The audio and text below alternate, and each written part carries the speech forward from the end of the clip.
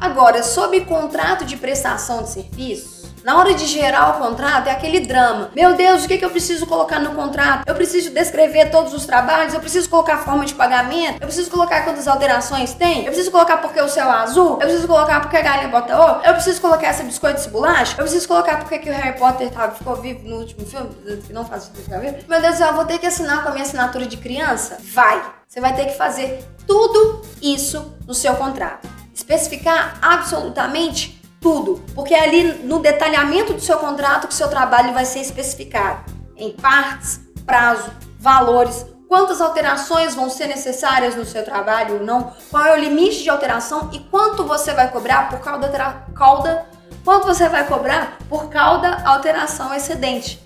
Então, presta atenção no contrato de prestação de serviço. Mas, duas coisinhas para vocês não se desesperarem. A primeira coisa é que a gente bateu um papo rápido com o João para ele dar o feedback sobre o contrato de prestação de serviço, tendo a visão de uma pessoa que trabalha dentro de uma agência e está há mais de 20 anos no mercado. Aí, ó, sofrendo que nem a gente, já passou por vários modelos de contrato de prestação de serviço. Presta atenção que a gente tem uma entrevista com ele a seguir. E não se preocupe, meus amores amarelos da minha vida, do fundo do meu coração, preenche minha alma e o meu ser. Gostou? Eu não decorei, foi agora na minha. Nós estaremos disponibilizando no site, estaremos fazendo Tá disponibilizando. A gente vai estar tá disponibilizando, a gente vai estar tá disponibilizando para vocês um modelo de contrato de prestação de serviço.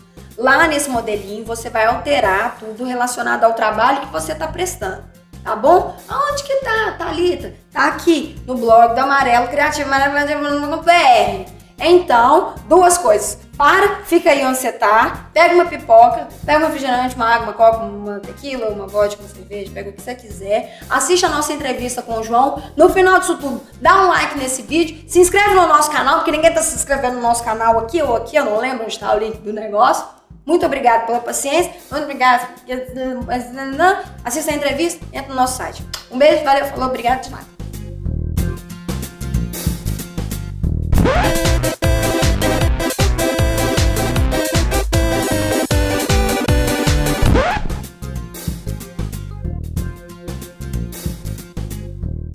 Joãozinho, contrato de prestação de serviço. Ei. Que é a dificuldade em criar o contrato de prestação de serviço. A gente não cria, a gente não faz. Por que, que é tão importante o contrato de prestação de serviço na hora de fazer essa trabalho maravilhoso dessa profissão, que é ótimo? Eu acho que, na verdade, tem muita gente que não tem nem muito conhecimento sobre contrato de serviço, né? O começa a trabalhar aí e tal, começa a oferecer o trabalho de freelance e... E faz. Faz contrato, ainda mais eu vou pegar um cliente ali, miudinho, vou trabalhar um Uma coisa job rápido e tal, não. Mas eu acho que a questão é mais reconhecimento. O pessoal ainda não está muito familiarizado com a questão de contrato, não. Muita é. gente sim, né? Os mais experientes, uhum. somente quem já passou por agência, a galera que já tem mais tempo de mercado. Mas eu digo mais os novatos, realmente não tem muito conhecimento não. É tem é essa dificuldade em fazer e às vezes eu até, principalmente aqui, né, no escritório, na agência de vocês, no escritório de vocês, é, aparece aqueles jobs que são rápido, para ontem. Sim. E aí, às vezes, não dá tempo de criar o contrato, não se cria o contrato. Às vezes, o tempo que você gasta para criar o contrato, o cara já tá com a arte na mão, já criou e tudo. E aí tem essa coisa do cliente ligar e falar, eu quero para agora! Sim, sim, sim, claro. Mas é importante ter essa organização para você se programar e não esquecer do detalhe do contrato. Entendi.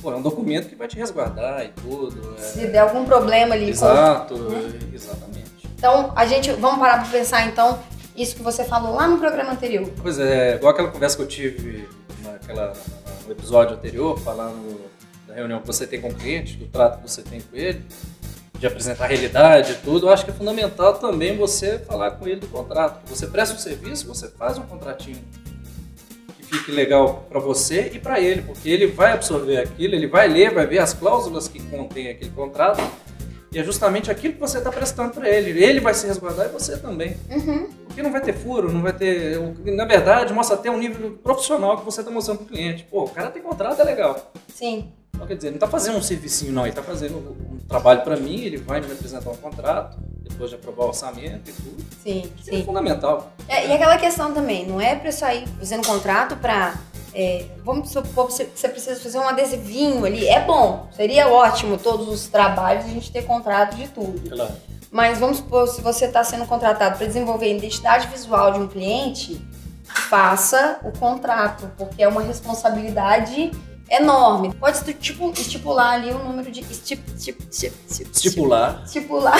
Não, tá, foi. Tá. Pode estipular o número de alteração que vai ter. Exatamente. Tem gente que gosta, tem gente que não gosta. É igual eu falei, você pode dar direito para ele a três alterações, aí volta aquela questão de você cobrar ou não e tudo e tal. Mas lembrando... É um dos vários detalhes que você inclui do seu trabalho. Entendeu? Exatamente, mas lembrando que isso tem que ser especificado no contrato. No contrato. E lembre ele lá na reunião também, falou, meu amigo, vou trabalhar para você, mas eu tenho um contratinho aqui, né, pra me resguardar. Viu? Né? Né? Né? Arrasou, arrasou. Joãozinho, a gente vai voltar daqui a pouco Beleza. falando sobre pós-venda. Ótimo. Que é uma coisa que, né? Tá, gente? Daqui a pouquinho a gente volta. Sem saudade da gente, né? tá?